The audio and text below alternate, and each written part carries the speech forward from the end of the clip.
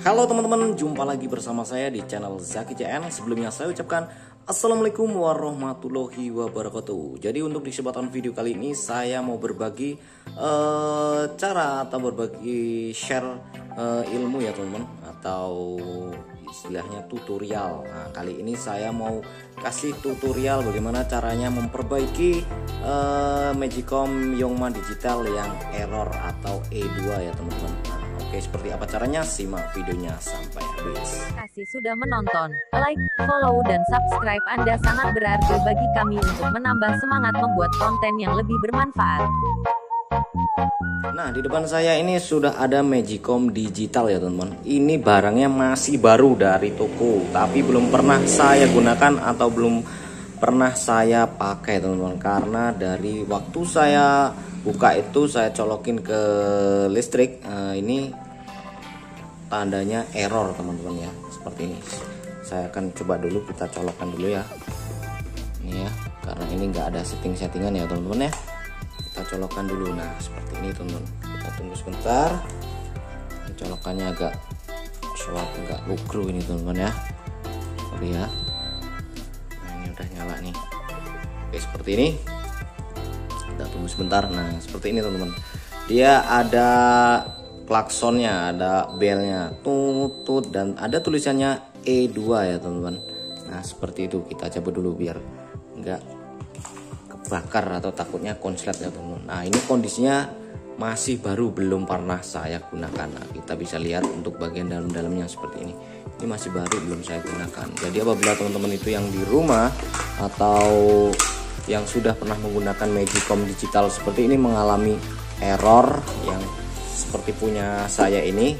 Kalian jangan buru-buru taruh ke tukang servis teman-teman. Barangkali kita bisa akalin sendiri dengan cara yang sudah saya share ini teman-teman ya. Oke langsung aja kita ke tahap pembongkaran ya teman-teman. Nah seperti ini. Ini orang biasa aja walaupun tidak mengetahui untuk teknik-teknik cara pembongkaran atau cara memperbaikinya kemungkinan bisa kalau mempunyai alat-alatnya di rumah ya teman-teman. Jangan takut-takut untuk membongkar. Oke langsung aja kita eksekusi untuk pembongkaran yang pertama. Untuk target pertama bagian yang pertama kita bongkar dulu titik permasalahan yang pertama. Nah kita bongkar untuk bagian paling atas sini biasanya teman-teman ya. Karena ini kondisinya masih baru saya curiga untuk bagian di paling sini. Biasanya di bagian paling sini ini ada kendala sesuatu yang mungkin ada kekonsletan ya teman-teman. Kita bongkar dulu untuk bagian sini. Jadi untuk bagian dalam ini mesin ini kita kalau emang di sini nggak ada kendala kita bongkar di sebelah sini. Bagian mesin sini teman-teman ya. Oke untuk yang pertama kita buka dulu untuk bagian sekrup yang di sini teman Kita buka dulu ya.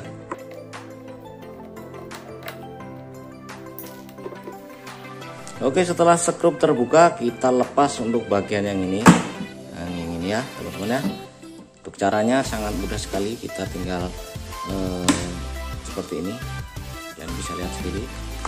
Nah lepas kita ambil nah modelnya seperti ini teman-teman. Setelah itu kita untuk tahap selanjutnya kita bongkar bagian uh, yang dalam. Seperti ini teman-teman. Ini.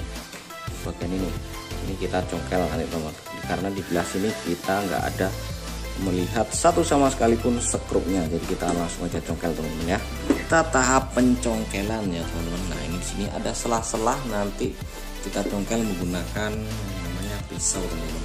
Kalian juga bisa menggunakan obeng. Pokoknya intinya bendanya pipih seperti ini ya teman-teman. Karena biar masuk di bagian selah-selahnya ini. Langsung aja kita congkel teman-teman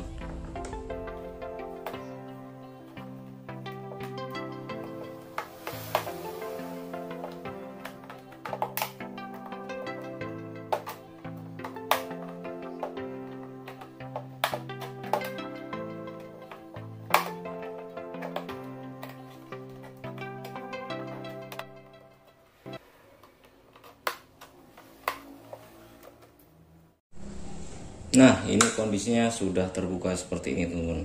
Nah, oke, untuk bagian-bagiannya seperti ini ya. Kalian bisa lihat sendiri. Ini bisa dilepas. Dan yang ini modelnya seperti ini, teman-teman. Nah, seperti ini, teman-teman ya.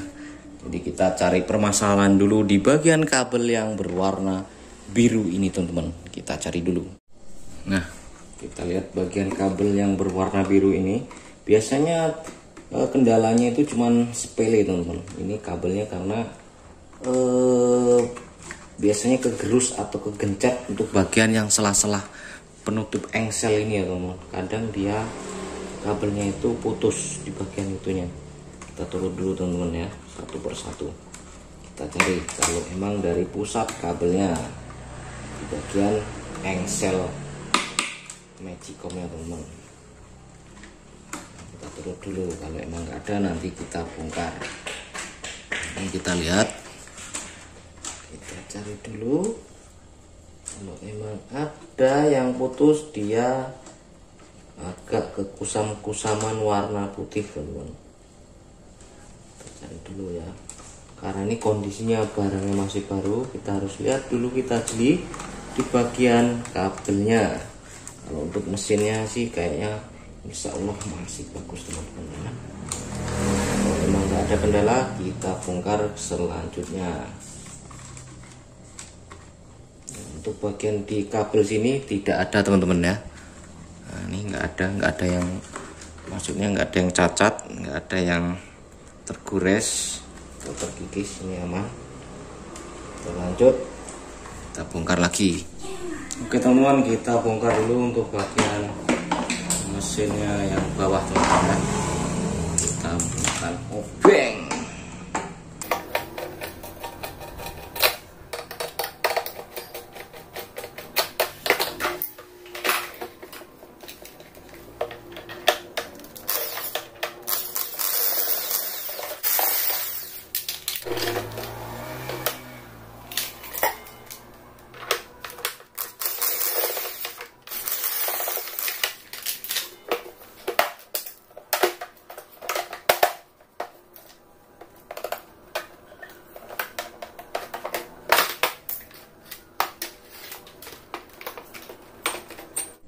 Nah, di sini kondisinya udah saya bongkar teman-teman. Di untuk bagian uh, ininya kita sudah cabut di bagian uh, penutup paling bawah itu.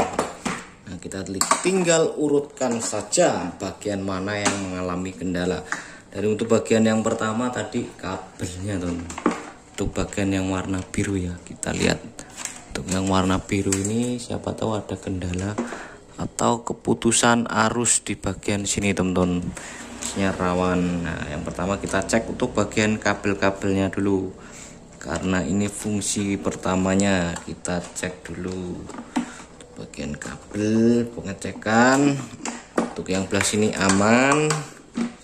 Kemudian kita cari yang sebelah sini teman nah, ini kondisinya. Nah ini teman-teman. Nah tadi nggak bisa ditarik ternyata ini lepas teman-teman. Nah, ini. ini kendala utama ini di positif di kabel kalau masih error teman-teman. Jadi apabila teman-teman yang di rumah itu mengalami Magicom digital seperti ini error atau E2 biasanya di kabelnya ya teman-teman ya. Belum tentu di komponen-komponennya ya karena ini posisinya masih baru. Jadi kita cek dulu untuk bagian kabelnya. Ternyata ini lepas dari eh, soketnya teman-teman. Nah ini soketnya di sini kita bakal coba cabut ya.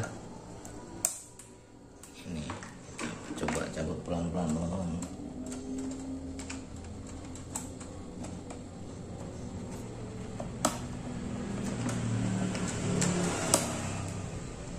ini sekalian lepas ini bahaya nanti kalau salah pasang.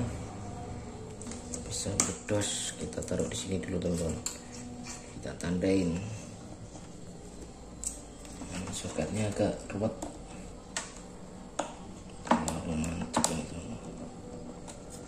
Nah.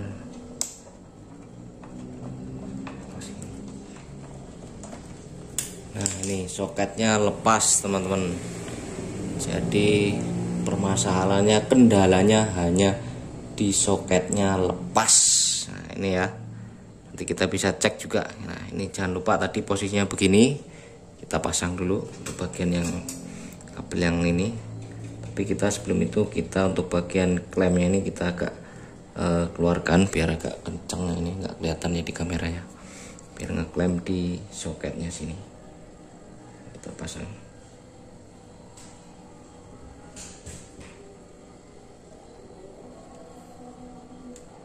Hmm, udah ngenok nih. Oke untuk yang lepas tadi kita coba pasang juga kita jangan lupa untuk kencangkan atau kita keluarkan untuk bagian yang sini. Ini enggak agak kelihatan teman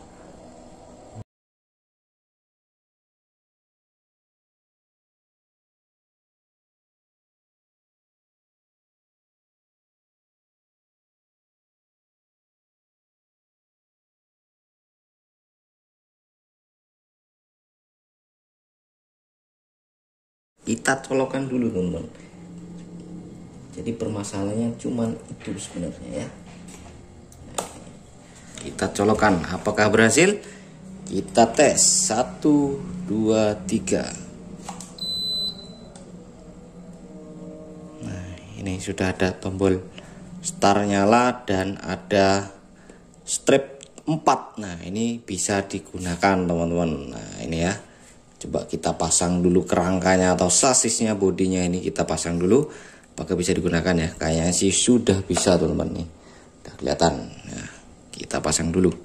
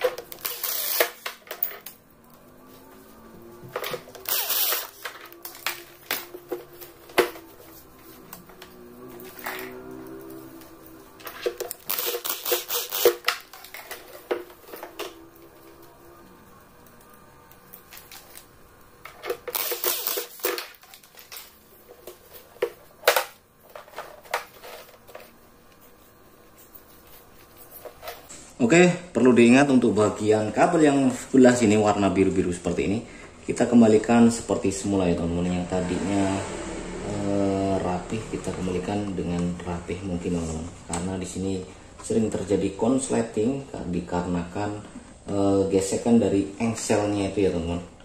Kita buka tutup buka tutup jadinya sering biasanya kena gesekan itu putus teman-teman. Jadi kendalanya biasanya yang pertama di kabelnya seperti ini jadi apabila teman-teman yang di rumah itu mempunyai uh, Magicom digital yang seperti ini mengalami kendala E2 atau error, kalian buka dulu jangan buru-buru kalian ditaruh di tukang servis teman-teman. Takutnya di tukang servis itu ya tahu sendirilah ya. Masalah sepele nanti jadi gede teman-teman. Nah, kita buka dulu apabila kita mempunyai keahlian tersendiri, kita buka sendiri, kita bongkar-bongkar sendiri, kita rapiin ya teman-teman ya untuk bagian kabelnya jangan sampai tertumpang tindih ya. Takutnya nanti terjadi konsleting nanti atau keputusan kabel. Mengalami kebocoran ya teman nah, ini kita rapikan seperti semula. Nah seperti ini. Penting intinya waktu kita buka tutup dia tidak mengalami kendala atau gesekan yang cukup keras teman-teman. Nah seperti ini teman-teman. Kita pasang kembali. Itu bagian penutup 嗯。哼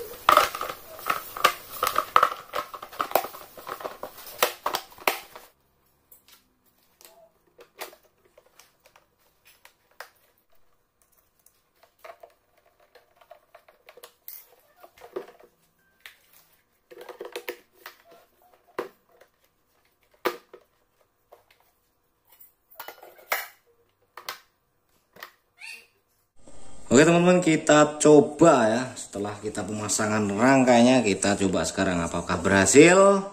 Kita coba kita nyalakan. Nah ini udah nyala. Strip 4 cuk. Dan star. Kita coba tutup teman-teman. Nah ini karena posisinya belum ada isinya. Jadi cuman seperti ini teman-teman. Nah ini kita tinggal nyalakan star seperti ini nanti apabila kita memasak nasi teman-teman ya. Nih. Berarti untuk tutorial cara memperbaiki Magicom digital Yongma yang error kita berhasil teman-teman ya. Semoga video ini bermanfaat buat teman-teman semua. Dan semoga untuk channel ini semakin berkembang dengan dukungan kalian semua. Dan saya akhiri. Wassalamualaikum warahmatullahi wabarakatuh kita lanjut di next video